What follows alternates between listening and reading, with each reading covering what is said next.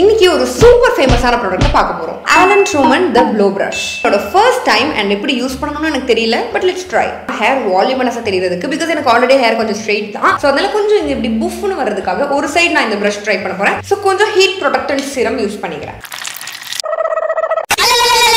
ஐயோ இதை பிடிக்கணுமே. கொஞ்சம் புரியுதா? காசு கொடுப்பியா? நக்கு செத்த பையல. கிளிப்பு கிடச்சிச்சு கிளம்பு.